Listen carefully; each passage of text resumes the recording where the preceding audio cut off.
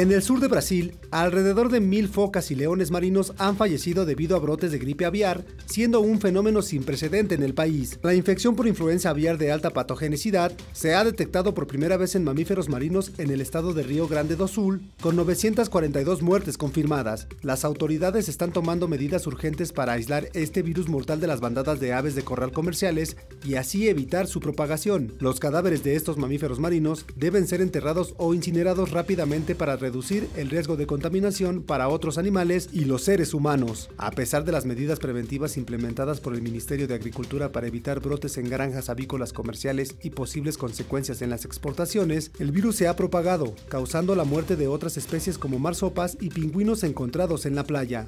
La situación ha llevado a declarar una emergencia sanitaria en Brasil con 148 brotes confirmados de gripe aviar altamente patógena, principalmente a lo largo de la costa, buscando contener esta enfermedad que aún no se considera endémica en el país.